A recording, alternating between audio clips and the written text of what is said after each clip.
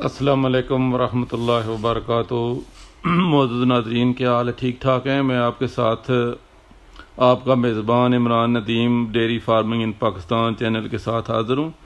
आज मैं आपके लिए एक जो है, वो बहुत ही कारामद नुस्खा शेयर करने जा रहा हूँ।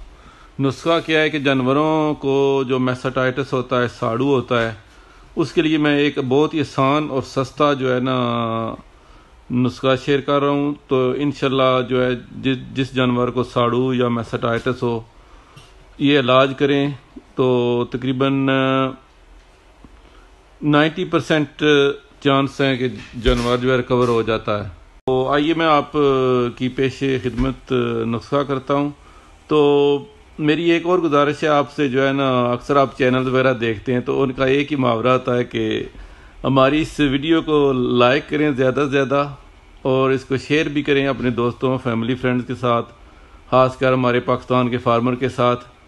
तो दूसरा जो हमारा चैनल है, इसको सब्सक्राइब भी करें बेल आइकॉन का बटन भी दबा दें हमारी आने वाली जो नई वीडियो है, वो आप तक जल्दी से जल्दी पहुँच सके और आप देख कर उससे मुस्तफ़ हो सके। तो नुस्खा क्या है कि जानवर जो एक माह से ज़्यादा सुहा हुआ हो बच्चा दिया हो जिसने तो इस तरह आपने करना है कि एक पाओ तकरीबन 250 से 300 ग्राम ताज़े लेमन लेने हैं, फ्रेश लेमन, जिसको पंजाबी में नींबू कहते हैं। वो लेने हैं, ठीक है, उनको बारीक काट लेना है आपने। शाम को तकरीबन गाय का दूध लेना है एक किलो से तकरीबन तीन पाव से एक किलो तक हो जाए। तो अगर गाय का दूध नहीं मैसर तो भैंस का दूध भी ले सकते हैं। आपने ऐसा करना है कि वो लेमन जो है ना, बरीक काटे हुए रात को ना दूध में भिगो देने हैं। साथ ऐसा करना है, एक चम्मच शीशा नमक शीशा नमक आपको जो है पंसारी से मिल जाएगा आसानी से। उसको थोड़ा सा पीस लें, वो एक चम्मच शीशा नमक उसमें डाल दें। ठीक है उसको रात छोड़ दें। आप सुबह ऐसा करना है कि ब्लेंडर में डाल कर वो लेमन जो है ना, वो दूध फटा हुआ होगा। अमूमन क्योंकि वो दूध फट जाता है, जैसे ही वो लेमन और दूध मिक्स होते हैं। तो उसको ब्लेंडर में अच्छी तरह आपने डाल कर अच्छी तरह ब्लेंड करना है।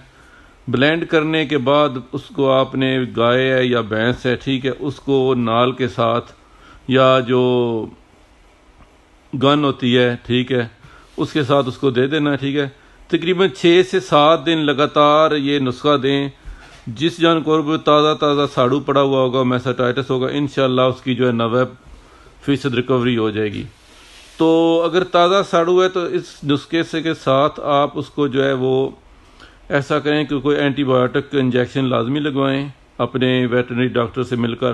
तकरीबन 60 सीसी से नब्बे सीसी तक उसको जो है वो एक कोर्स एंटीबायोटिक का भी करवा दें।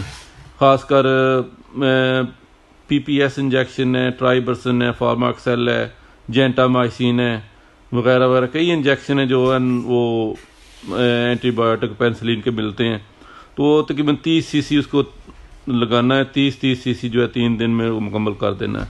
तो इन अल्हम्दुलिल्लाह, अल्लाह ताला के करम फजल से जो है ना वो जानवर आपका जो है बिल्कुल ठीक हो जाएगा, थान उसका बहाल हो जाएगा।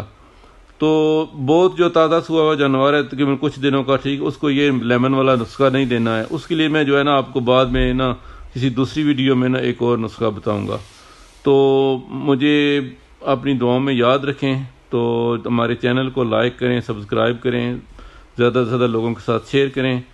ये एक, समझ लें कि ये काम आप एक सदका जारिया समझ कर कर रहे हैं, कोई इनकम का लालच नहीं है, ठीक है? बस हमारा पैगाम जो है ना, वो ज़्यादा से ज़्यादा लोगों तक जाना चाहिए।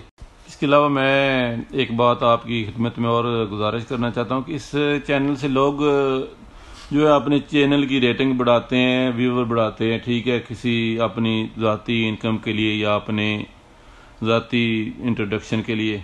तो अल्हम्दुलिल्लाह, ऐसी कोई बात नहीं है। तो मेरा तो चैनल बनाने का भी एक नेक मकसद है, ठीक है, वो है हमारे आम किसान फार्मर भाई हो जो डेयरी फार्मर है, उनकी भलाई के लिए। और दूसरा, इस चैनल से जो भी अगर कोई इनकम होगी, या हो रही होगी, या आएगी, या जैसे भी हुआ, वो भी एक जो है ना, वो समझ लें कि एक नेक मकसद के लिए इस्तेमाल होगी, ठीक है। किसी की मदद की जाएगी, किसी गरीब की, या को वगैरह वगैरह। तो अल्हम्दुलिल्लाह जो है ना, अल्लाह ताला का बहुत कुछ दिया हुआ आप दुआ भाइयों की दुआएँ चाहिए।